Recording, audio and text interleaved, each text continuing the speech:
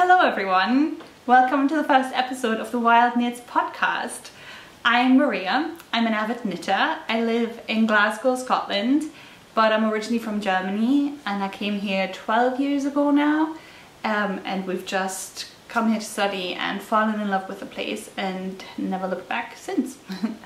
um, I thought I'd give this whole knitting podcast thing a go. I've seen loads of people um, upload and talk about all their works in progress, the things that they've bought, and I find it really inspiring. I learn about loads of new designers that I've never known about any other way, and I thought it's a really lovely way to connect with other people who share the same hobby as you, and yeah, just meet some new people who love to knit just as much as I do. Okay, I feel a little bit self-conscious talking to a camera and I'm sure I'll look away all the time and it's like um and ah no all the time so forgive me. But I really want to give this a go and so I hope you'll enjoy it. I hope you'll see some lovely things that inspire you and I hope that you'll engage and that you'll comment and that will sort of start a little bit of a conversation and that I'll make some knitting friends finally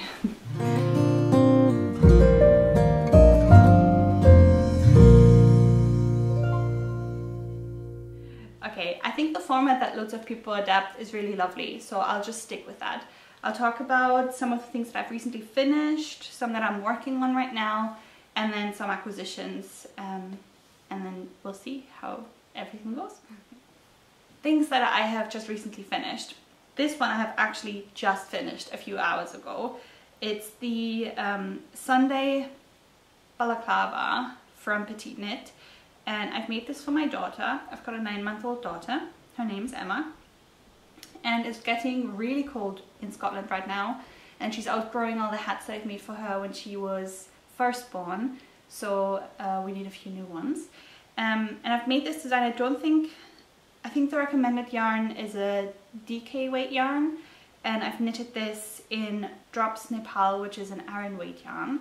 So it's a little bit thicker and probably doesn't have the exact same gauge. I use smaller needles than what's recommended. I think she recommends 4 millimeter needles and I use 3.5 um, to sort of roughly hit gauge. But I wasn't too fussed because it has a lot of gives you can see. So it's knit in a 2x2 rib. Um, so it has a lot of give um, and I know I can block this sort of into shape a little bit more. I was more concerned about it feeling really soft um, and nice because it's gonna be right around her head and on her face. So I wanted to feel comfortable in it and not try to pull it off all the time.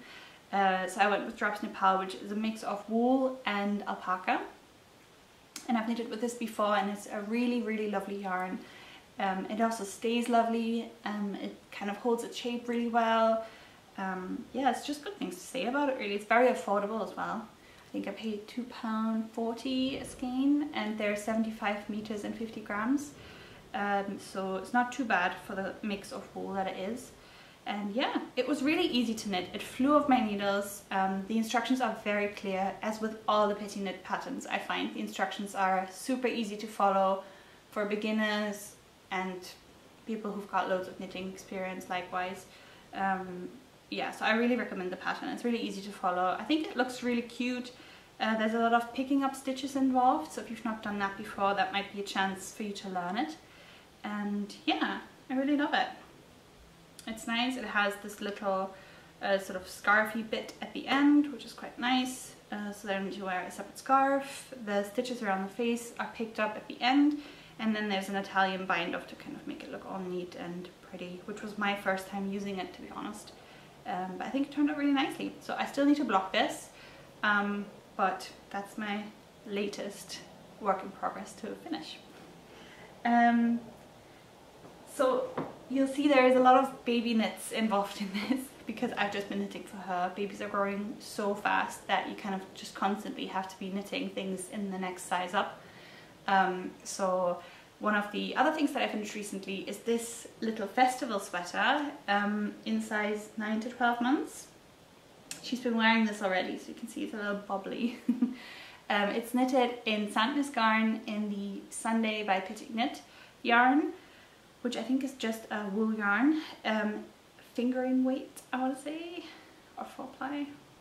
Um, so it's a really easy knit, um, it's knitted in the round, top down, Um, the increases are just to make one left to make one right, I think.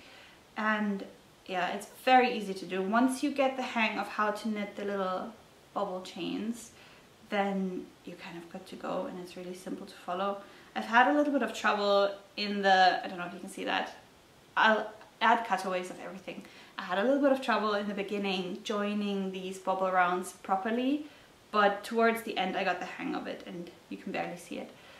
Um, so yeah, really easy to knit, flew off the needles. Um, you can get really creative with what colors you want to choose for the bubble rows. Um, I chose these three colors um, also from the Sandnes Sunday range and absolutely love it. And it fits really nicely and it's warm and it's very soft as well. So that's kind of the uh, second thing for me to finish. Did I say it's the festival sweater for babies from Petite Knit again? Um, and I loved it so much that I actually started this in my size, which we'll come to later when I talk about my works in progress. Um, the next the next sort of two baby knits, I've actually tried something I've never tried before, which is embroidery. So I'll show you the first one. This is also a garment that was designed by Petite Knit. You'll see the pattern in this. um, and it's the Ellen's cardigan. So it's a little cute cardigan with raglan increases and it's got this little detail with these pockets that you kind of knit into um, as you go along, the top down, and then you just sew them the sides sort of closed and shut, and then you can you just finish with it really. Um, yeah, and this is knitted in Puna by Drops, which I cannot remember what kind of wool it is, but it feels extremely soft. It's really lovely to knit with. Um, yeah, an absolute joy really. Flew off the needles as well, quite easy. Uh, you're doing the button band as you go and then you just have to make the button holes separately afterwards. Um, yeah, and so what I've tried, and this was my first time ever embroidering something, is just knit or embroider her name on the back here. Uh, I'm sure you've seen a lot of these types of cardigans on Instagram. Um, so I've just used some uh, sock yarn that I've had in loads of lovely colours and I'll show a close-up of this but um, I've just used sort of the, I forgot what it's called, it's just a looping with, um, with a crochet needle.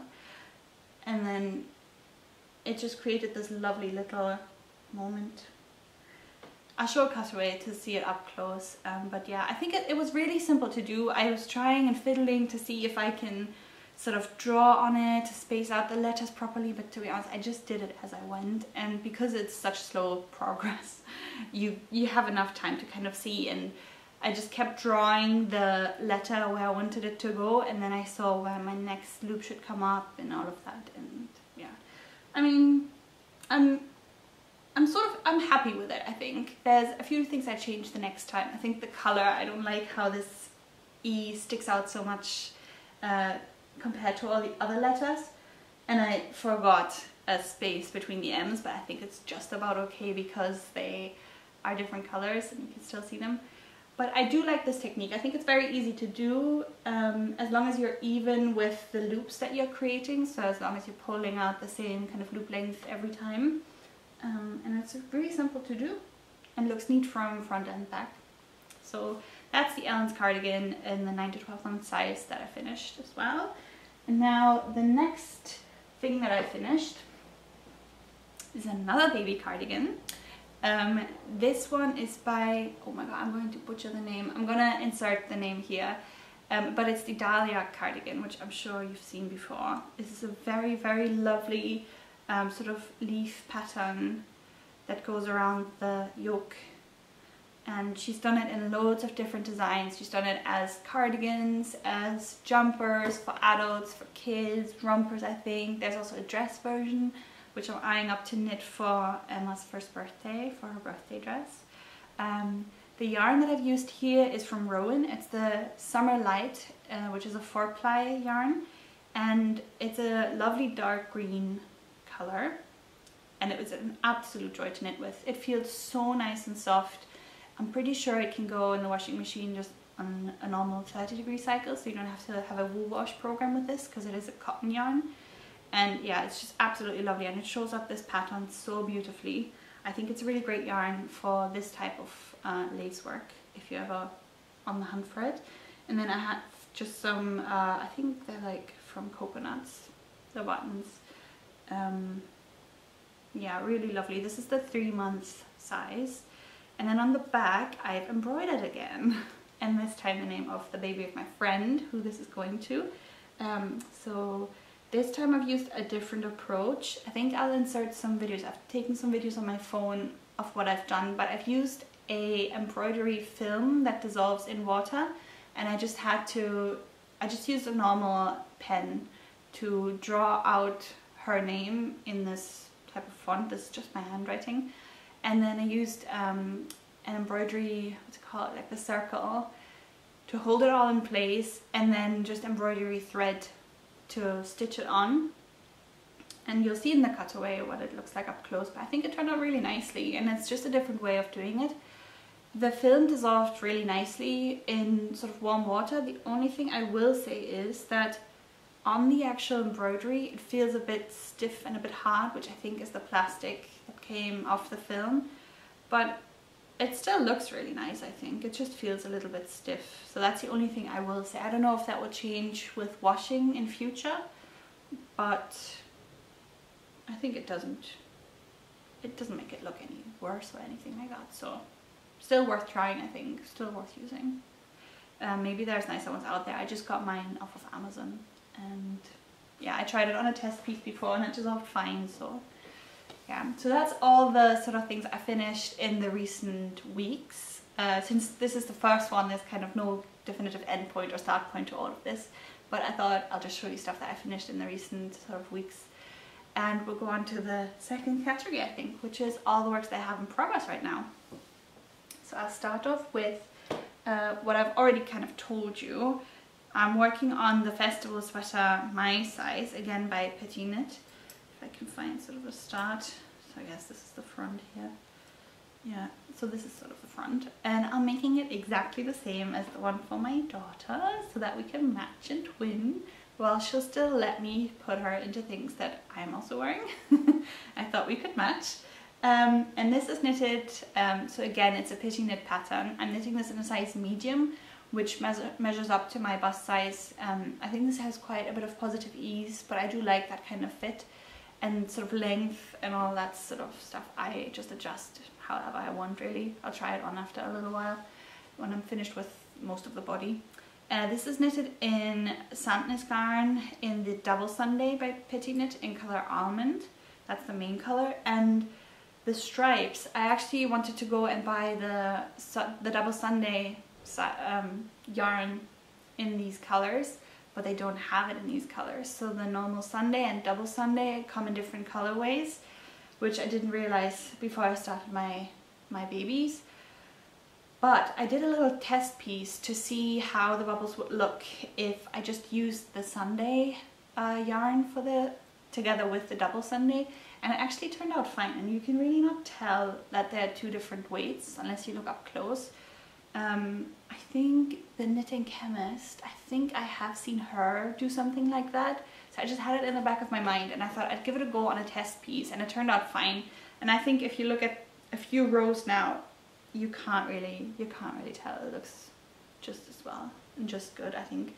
So um, yeah, if you are in a bit of a pinch and you want to knit this but you don't have the colors in the double Sunday or in that weight, you can use um, a different type of yarn. Just do a test piece I would say, but you can use a different weight and it'll still look good and knits up just fine. So yeah, this is on my needles. I'm just about finished with the yoke. I think I have a couple more rows of the main color yarn to go and then I've got the, um, the length that she says to have for the yoke and then I can finally split it into the arms and the body. I always find this bit from top down to the end of the yoke to be the most sort of tedious, especially when you've done all your increases and you've got well over 300 stitches on your needle and you just need to go around and round and round to get the length. I find that bit tedious and it takes me the longest, definitely. And then once you have it split, all of a sudden it goes really fast. Um, but yeah, I'm excited to get this finished, to have something for myself again, because I've been knitting for other people loads recently, um, and to be matching with my baby. so that's my first work in progress. Um, the second one, I will just show a little sneak peek because I have actually started designing one of my own things that I've been thinking about and umming and ahhing um, and looking for designs. I haven't really found anything that I like. So I thought, you know what, just, I've got some time now. I'm on maternity leave right now. And it was one of my goals in maternity leave to try and create my own knitwear design and just dive into it and give it a go. So this is the start of it. It doesn't look like much yet because it's literally just the start of it. Uh, this is the back actually, so I'm looking at it like this. So it's going to be a top-down sweater. I don't want to say too much yet because obviously I've just started on it and see if my whole idea comes to life. Um, but yeah, top-down sweater. It's going to be it's going to be in stripes. If you if you've seen some of my Instagram pictures, I've already kind of given a little sneak peek of the stripes. It's going to be white and blue stripes. I'm knitting this in Drops Lima, which is a lovely yarn. I'm sort of on the hunt for a nice alternative to the double Sunday. Um, loads of Petite Knit patterns use it and it's a lovely yarn. It feels great. Um, it knits really well with. It is accessible in the UK as well. I know No Frills Knitting and I also think Knit both sell it. Um, however, it is quite dear and knitting is an expensive hobby as it is and I think if you can find yarn alternatives that are a little bit more affordable and jumpers don't always cost 70, 80, 90 pounds to make, why not? You know, so I'm trying out the Drops Lima range, which feels really lovely. It's, I think it's basically the DK weight um, alternative to Drops Nepal. It's also alpaca and wool. Um, it absolutely feels great. And I don't know how much a skein of it is and how much you get in it, but it's definitely a lot more affordable. I think it's around half the price of um, a skein of Double Sunday um, in Sandnes. So yeah, I mean, all you can really see is the start of the yoke. I've done uh, the neckband folded and the start of the yoke. I've done loads of short row uh, increases in the back. So you can see the back is a lot longer than um, the front and just the rep are lifelines in two different sort of sections. So the first one is before I started the short rows in case I don't like the fit and I want to undo everything then at least I don't have to go back all the way. I know exactly where my short rows started. I can just undo it up until there and then I can take up the stitches again and try my short rows again, maybe a bit smaller whatever. And the next lifeline is sort of halfway-ish through my short rows because it was getting longer and longer and I thought, oh my gosh, is this way too big? So I thought I'll just do a lifeline halfway and then again, I know if it looks a bit too much, I can undo it up until there, see what it fits like and then yeah, hopefully it saves me a bit of work if I don't like the fit of it. But so far so good. I'm really, I'm really enjoying it. Um, and yeah, we'll see, we'll see where this goes, how it goes and when it's finished. okay, on to the next category, which is all the things that I bought recently. So I think one of the first things, why not, uh, I'll just show it right off the back. This is a new little project bag that I got yesterday actually in my local yarn shop, which is called The Yarn Cake. It's in Glasgow in the West End near the Botanics if anybody's local. And it's a really lovely little shop. They have got loads of amazing wool. Um, I think they've got loads of drops. They've got West Yorkshire spinners. They've got some hand-dyed local yarn. I think there's Stopic fibers there showing up. And then loads of accessories, sort of all from the Knit Pro range, sort of anything that you'd really need. Uh, and the lady that runs it is really lovely as well. And in the back there's a little cafe where you can get a bit of coffee and a cake and chat to the lady. It's really nice. Um, yeah, so I thought, you know what, support local. and I got a little project bag from there, which is really handy because this is a bit smaller than my usual one, which is this one, which I got from, is it called Fiber Fox, I think so. I'll, I'll insert the name here. Um, this is a really lovely project bag. It fits an adult size jumper and a few skeins of yarn and my little um, sort of project pouch. This is also a really lovely bag if you're on the lookout for one. Okay, so that's the first acquisition. Then in the shop I also bought some wool so I had to get another skein for the first thing I showed you the Sunday balaclava I had to get another skein of Drops Nepal it was actually my stash buster it was supposed to just be scrap yarn but then I was missing a little bit so now I have another ball of yarn or like half a ball but I don't think uh, it'll go to waste I think I'll definitely find something to do with Drops Nepal um, so anyway this is a yarn I didn't know about. I've never seen it before. It's from West Yorkshire Spinners. It's called Fleece and it's made of 100% British wool. Uh, probably, I guess the sheep is called a blue-faced Leicester. It's a DK weight yarn. It feels so lovely and soft. That's why I was so intrigued by it because it was just wool but it feels amazing and it feels like it was some sort of alpaca mix or whatever absolutely um, intrigued by it. I love the color. It's this sort of chestnutty brown with hints of red. I think it's perfect autumn kind of hat knit. I think I'll try do a hat with this and also some sort of gloves, sort of penny glove style if you know Petite Knit penny gloves. Um, yeah, I think I'll just give it a go. This is not the weight I think that she uses in the pattern, but I can make it work, I'm pretty sure. So yeah I just thought I'll give this a go. It's really lovely and see what it's like what it feels like wearing. Maybe can make a jumper of it or a cardigan we'll see. But this was the first one. I can't remember how much I paid for it. I think it must be around the 14 15 pound mark for the skein and it has 225 meters in this uh, well 100 gram hank actually. It's not a skein it's a hank. But yeah DK weight if anyone's interested and hopefully you'll see in future what this becomes. um, the next thing that I bought was something for the what I think is the biggest hype knit at the moment on Instagram and it's the Moby sweater by Petite Knit. Um, I really love the cabling that she's done in it and I think it looks really pretty but before I commit to cables and all of that for an adult size I thought I'd give it a go for the baby size or the junior size.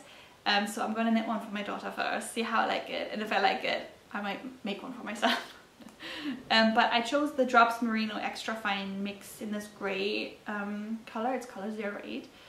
Uh, I think it'll look really lovely. I think a brighter colour or a lighter colour looks nicer with cables, it just shows up a bit more than a darker colour. So I wanted to go with like this mix as well to make it not look so flat and I think it'll be really nice. It feels amazing. Um, yeah, and I'm really excited to use it. I've never used this uh, Drops uh, merino yarn before, huh? but yeah, I'm really excited. So hopefully this will be my needles soon. I'd really love to pop it on quickly, but I think I have to finish a few other things first. But do I? We'll see. Uh, maybe I'll cast it up. Maybe I'll always watch. okay, so that's uh, the Drops Merino for the Moby sweater in a baby size. The next thing, I really wanted to try this yarn for a very long time, kind of ever since it's come out because it looks so interesting.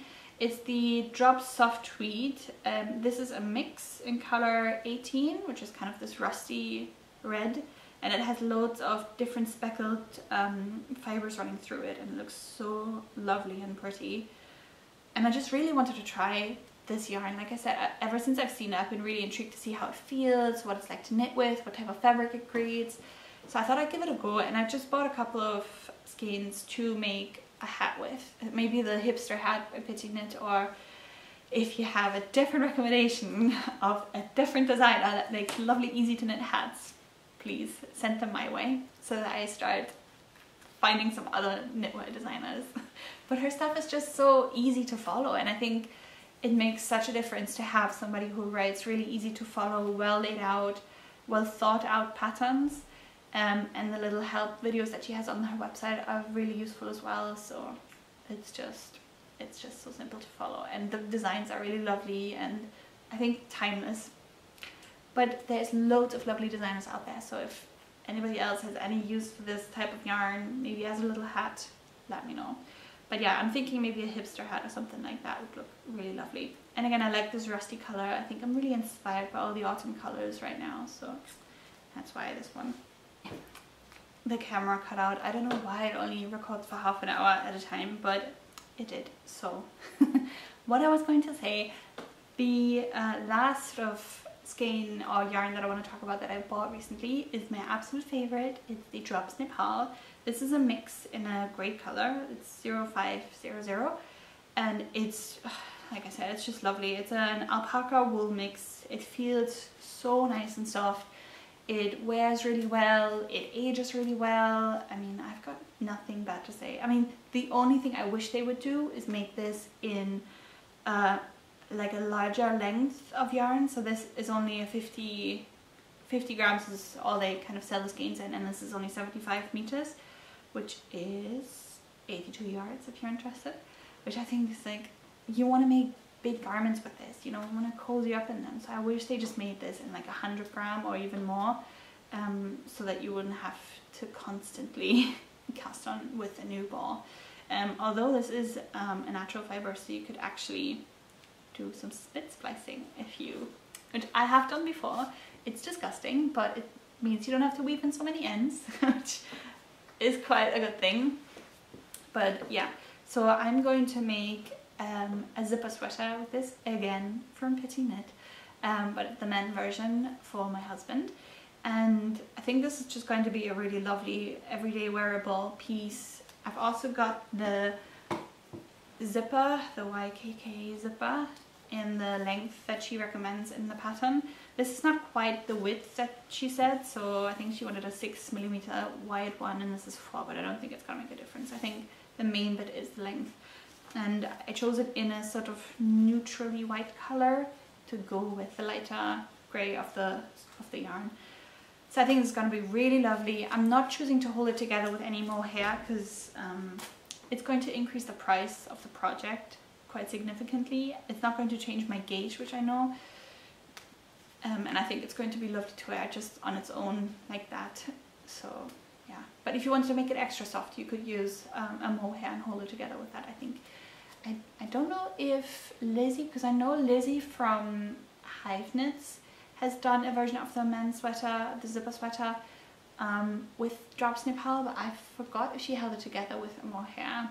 But yeah, that's how I know this yarn works for that project and I really loved what she's done and what the fabric turned out like so that's why I chose to go with Drops Nepal for mine as well. So yeah, that's my last yarn acquisition in the recent months.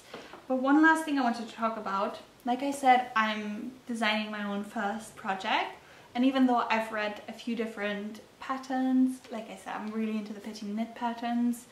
Um, I've also knitted previously with the free patterns from Drops. However, there's a few things in there that I really don't like that aren't really user friendly. I've done some bits from My Favorite Things Knitwear as well, which is also a really well written pattern, very easy to follow. So I know my way around different types of patterns, but I thought there's no harm in going back to the basics. So I got this book, which was a recommendation from Kortuvakika, I think she's called, um, on Instagram. She's also doing YouTube videos and she was talking about this book being really useful for people who want to start out and write their own knitting patterns. And I must say, I've only read a few pages, but it is honestly amazing. The things that you learn, the things that you wouldn't think about, it is a really good comprehensive book. Um, like the title says, so it's maybe I should read it out. it's The Beginner's Guide to Writing Knitting Patterns by Kate Atherley. Um, it's a really useful book, very detailed, very thorough. I basically have started using post-it notes to make notes for myself as to all the things that I want to add into my own knitting pattern um, that I want to talk about and highlight. Yeah, really, really great book. If you're starting out, if you're wanting to write your own pattern, might be something to look into. Um, to make your pattern as easy to read and comprehensive as possible.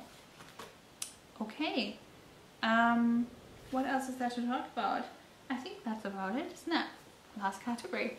So, yeah, hopefully I'll cast on, maybe I'll cast on the Moby sweater instead of, I always like to have something small on the go that you can just chuck in your purse when you're out and about and in the car or whatever. And then maybe something bigger that you can only do at home that you don't want to lug around. So maybe I'll do a swatch of the Moby sweater and I'll see if I can knit up some penny gloves. I've got some already that I've done in the recommended yarn. I think it's a Filcolana Alva one, which she held together with two strands. But I find for some reason the yarn keeps breaking and I keep having to darn holes in it.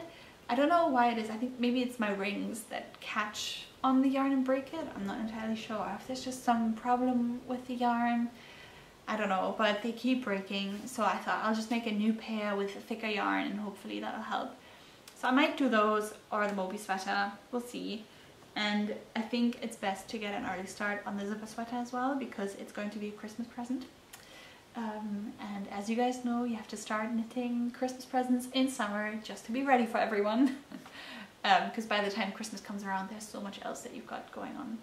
Uh, anyways, I hope you enjoyed this episode. I feel like I rushed through a bit. And if there's a lot of umming and ahhing in this video, I'm sorry. I'm sure I'll get used to it. But yeah, please just let me know if you've ever done the Moby sweater or if you've done the zipper sweater men, what your experience was, if you've knitted with any of the yarns before, um, or just what you've got on your needles right now. I'd really love to know. I'm also on Instagram, I'm quite active there, so if you ever want to chat, get in touch there. I'm at Wild Knits Glasgow. I'll pop all the information in the descriptions as well. And then hopefully I'll have a new episode soon talking about some progress in some of the WIPs that I've got. Maybe talk about some progress with my own design, we'll see.